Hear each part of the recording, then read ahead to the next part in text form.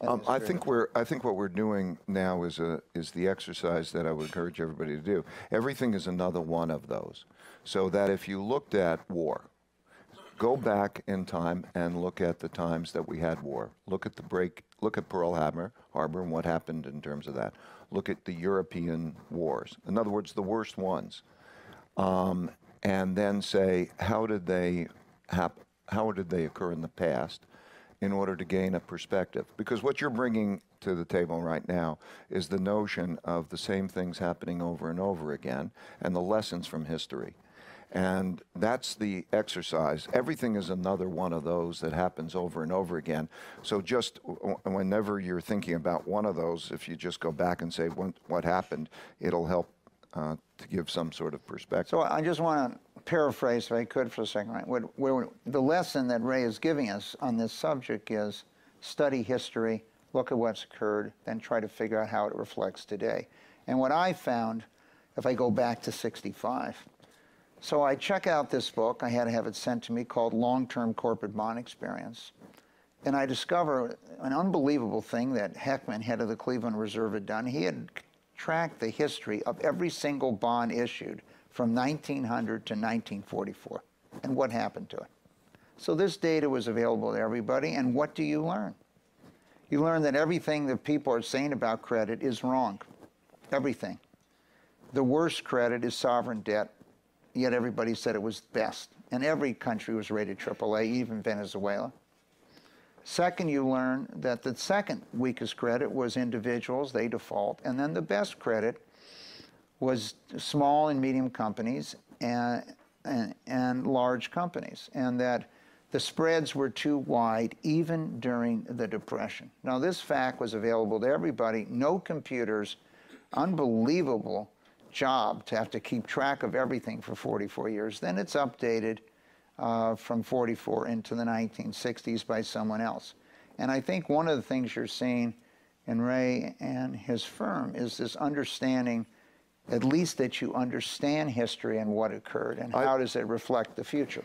I think, uh, I think then you ask yourself, what is the most analogous period in history? And I would say 1937 is the most analogous period in history to where we are today. Um, just take a moment if you, you want to take a moment on that.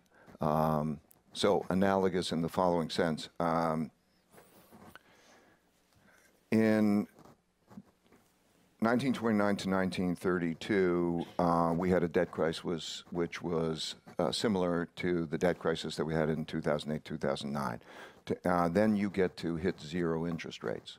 And so when you hit zero interest rates, the Federal Reserve can't any longer ease monetary policy by lowering interest rates.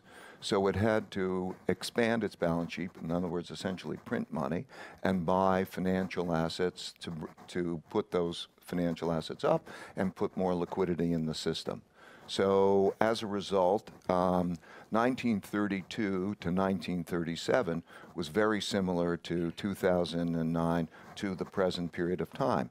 And during that period of time, there was um, a, a big rise also in the wealth gap. Uh, right now, the top one tenth of 1% of the population's net worth is equal to the bottom 90% combined. And if you look at that income gap, you would have to go back to 1935 to 1940. So we had a situation which was somewhat analogous. And then in 1937, as in now, the Federal Reserve began to tighten monetary policy. I'm not saying, by the way, the same thing is going to happen. I hope that there's a lesson to be no, no, learned by that. But there was asymmetric risk. And so what we have is some of the audience that doesn't remember vividly what happened to financial markets in the 37 period, why don't you just review it with it for a moment? Well, this, the stock market, stock market went down 50%, um, and we had what what was then the first time we call a recession, which was like a re-depression, and that's that's the, in a sense that. And what had happened was, and we had the beginning of populism around the world. So that was populism that was not a term that we're used to using here. It's a relatively modern term, but it was a popular. It was a term that existed back over then, and because that meant we had strong leaders who were um, also nationalistic leaders, um, who were more confrontational by nature, and we also then had that wealth gap. So one could imagine that if we had a downturn now, we don't want a downturn, but if we were to have a downturn, I don't think we'll have one, but if we were to have a downturn, I think that that would cause a lot of social and political conflict. In other words, there's a wealth conflict, there's that kind of environment. So we had that kind of an environment, a more uh, an environment of greater conflict. So I think it's an it's interesting that it's analogous. I would say if you look at populism, um, when we started to see populism. Populism, it's, I'm not just referring, I'm, I'm referring to the phenomenon, not just the people. Uh, the phenomenon grows in a certain way, and to study it, I, there's something I put on LinkedIn if people are interested. It's a case study of 14 different populism. What is populism? How does it grow? How does it behave? 14 cases, and then what is its archetypical?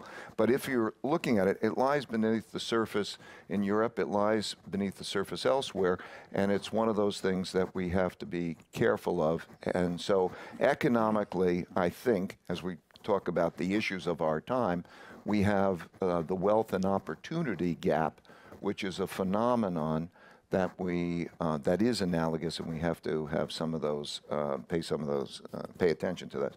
I'm only bringing this up because you were uh, referring to the same things happening over and over again, and then looking at a particular period, and I think that begs the question: Okay, so what is the analogous period to today?